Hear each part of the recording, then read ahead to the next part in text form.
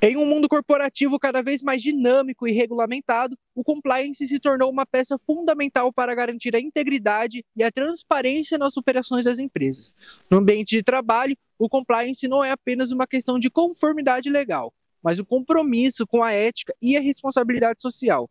Como o tema tem se tornado cada vez mais presente no âmbito organizacional, a equipe da TV Todo Dia preparou esta matéria especial com a advogada trabalhista Bárbara Gomes, que nos explicou um pouco sobre o assunto. O compliance ele é uma ação muito importante e ele deve ser feito por um profissional da confiança do empresário. Porque esse, esse profissional ele vai ajudar a, a empresa a implantar uh, as ferramentas. Então, vai, vai ocorrer a elaboração de um código de conduta, de um regulamento interno e de toda uma verificação se a empresa está seguindo as normas trabalhistas.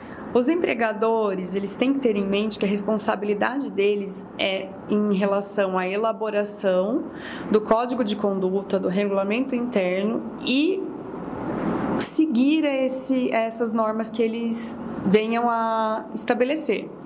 Então, assim, o empresário ele tem que ter em mente que o exemplo arrasta. Não adianta você fazer o código de conduta, você fazer o, o regulamento interno e não seguir.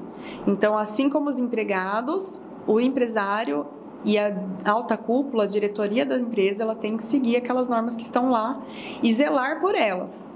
Ao adotar políticas de compliance, as organizações não apenas protegem sua reputação e evitam penalidades legais, mas também criam um ambiente de trabalho mais seguro e respeitoso para seus funcionários. O compliance ele tem também a, a obrigação de implantar um, um canal de denúncia dentro da empresa. Esse canal de denúncia pode ser através de um e-mail, pode ser através de uma até de um comitê tá? Em que o empregado ele se sinta à vontade para fazer a denúncia de alguma irregularidade que ele tem observado dentro da empresa.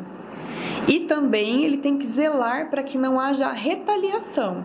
O empregado que fez uma denúncia em relação a um assédio moral, a um assédio sexual, ele não pode ser retaliado por procurar essa ferramenta. E qual é a importância, qual é o papel dos órgãos fiscalizadores em relação a isso? Os órgãos fiscalizadores, eles vão atuar fazendo a fiscalização, atuando no poder de polícia. Então, a empresa que ela não tem um compliance trabalhista bem estruturado, bem aplicado, como eu disse, ela ficará sujeita a sofrer essas penalidades. A adesão dos funcionários a essas práticas é tão importante quanto sua implantação. Quando os colaboradores se comprometem com os princípios do compliance, eles se tornam agentes de mudança dentro da empresa, ajudando a identificar riscos e prevenir comportamentos inadequados. Essa participação ativa fortalece a confiança entre a equipe e a liderança, promovendo um clima organizacional positivo e colaborativo. Os empregados, eles são convidados a participar do compliance a partir do momento que a empresa os chama, os convoca para, para participar dos treinamentos. Então, para as empresas que têm um determinado número de empregados, já existe a obrigação da CIPA. Inclusive, a CIPA, ela também sofreu uma alteração recentemente em 2023 para ser incluída a letra A+, de assédio. Então, é Comissão Interna de Prevenção a Acidentes e Assédio. Então, a empresa ela tem que proporcionar esses treinamentos regularmente e ainda assim documentar que isso está sendo feito, para que numa eventual fiscalização ela possa comprovar que isso está sendo operado na empresa.